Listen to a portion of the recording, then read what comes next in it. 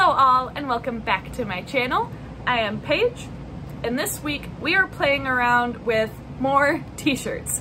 I have had a couple of black t-shirts sitting here in my craft area just waiting for me to give them new life and we are gonna test out bleach painting on them. We have messed around with some bleach before when we did bleach tie-dye but never just painting bleach on with a brush to make art on a t-shirt. We're gonna play around and see what we get. And if you're interested in seeing how the t-shirts turn out, please continue watching.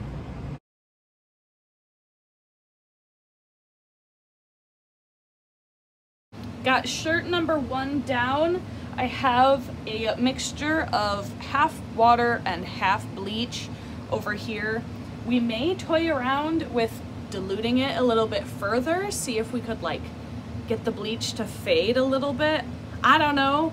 This is gonna be our first one and I'm thinking that I want a design that kind of goes with the v-neck of this shirt.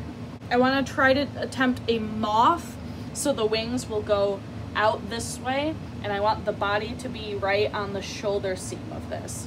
So with this being shirt number one, I'm just gonna kind of play around, see what we can learn, see how it turns out.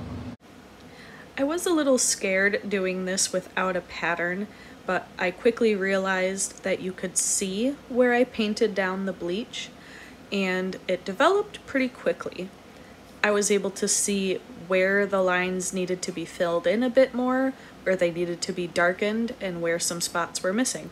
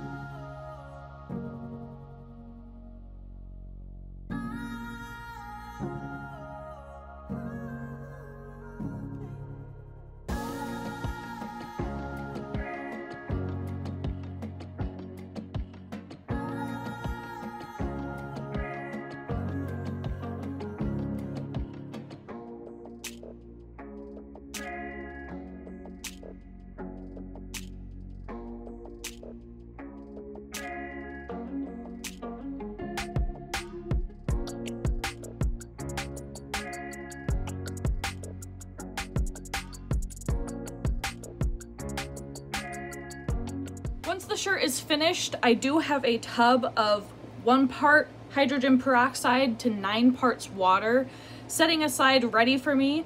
I'm gonna take this shirt, rinse it out really good, and then put it in that hydrogen peroxide for about 20 minutes.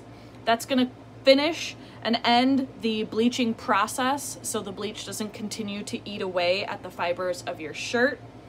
Once that's done soaking, then I'll probably take it out, rinse it out nice and good again, and run it through for good measure with just laundry soap, and we'll see how these shirts turned out. Our t-shirts are ready. After the whole hydrogen peroxide bath, I did go ahead and run them through just a regular wash cycle, and then I dried them. They are all done and so cool. This is our first shirt, the moth one. I decided to kind of dip this corner, the opposite end of the t-shirt, into the bleach and let it kind of soak up. So that's an interesting effect. And we've got some speckles everywhere. And here is the moth. I could have gone even bigger with this guy, but how cool. There are some darker spots, but I think it kind of gives it a nice appeal. I like it. And we have some of the shade work in there where I just lightly brushed a little bit of bleach on. This turned out so cool. And for the second shirt, I actually dip dyed the side in the same manner where I just kind of scrunched this up and threw it in the cup of bleach. And then on the opposite side, I painted this gorgeous flower girly looking up at the sun and I did use cardboard in here so the back is pretty much untouched by the bleach. Ah! This is such a pretty shirt. And here are some clips of them out in the natural light.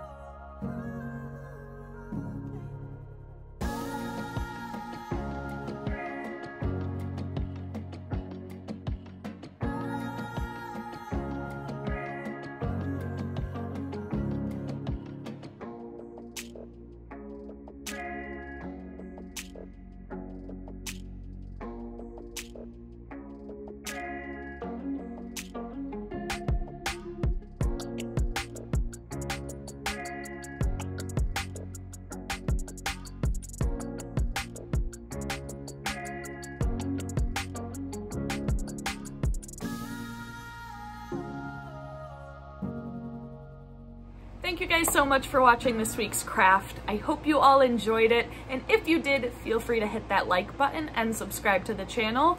I have been away for a couple of weeks. I took a little hiatus, but I tend to post videos on Fridays. I also have links for my social media and all of the items I used in this week's video down in the description box below. I'll see you guys all for the next one.